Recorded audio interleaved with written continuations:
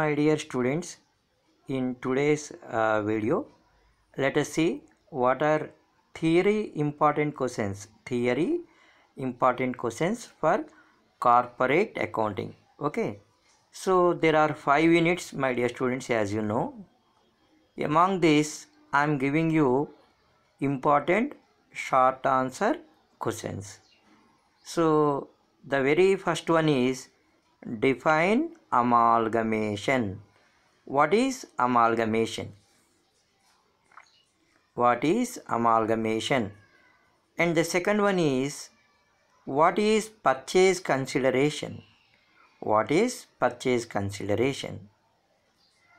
Then define internal reconstruction. Define internal reconstruction construction then mergers and takeovers. Mergers and takeovers. Then preferential creditors as per list c in liquidation. Next define liquidation. What is liquidation? What is company liquidation? Or else what is winding up of the company? What are the methods of winding up of the company okay. Next average clause in fire insurance claims. Average clause average clause. Statutory reserve in bank accounts. Statutory reserve. Every bank has to transfer 25% of their current year net profit to a mandatory reserve that is known as statutory reserve then in bank accounts only there is a possibility of getting a question on slip system of accounting. Banks will follow slip system of accounting. For the transactions we need to fill the slips. Then uh, in bank accounts only you have one more uh, short answer question like uh, what is rebate on bills discounted? Discount received in advance is known as rebate on bills discounted and uh, at the time of preparing schedule number 13 for discount received on bills we have to add rebate opening balance and we have to deduct rebate closing balance. Then memorandum of trading account memorandum of trading account. You know my dear students corporate accounting is a practical paper. More problems you will get. It doesn't mean there is no need for you to concentrate on theory also.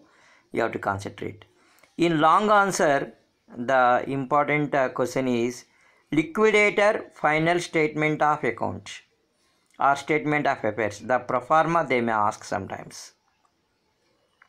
Proforma of bank balance sheet. Proforma of bank balance sheet. Whatever schedules that we have to take in bank balance sheet that you have to learn. Then write the proforma of balance sheet of life insurance company proforma learning is important. Keep in mind you should learn.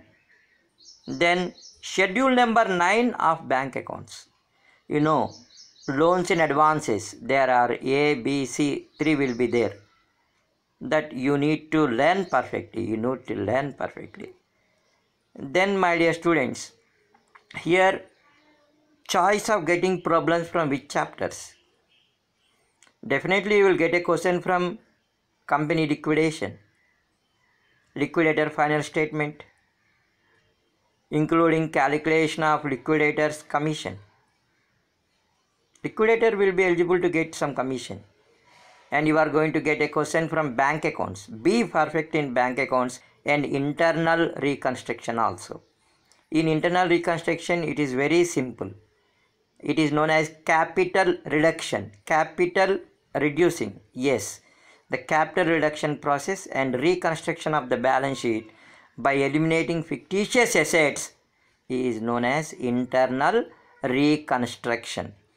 Learn perfectly company liquidation bank accounts life insurance company accounts fire insurance claims. It is very easy. Memorandum of a trading account is like a trading account.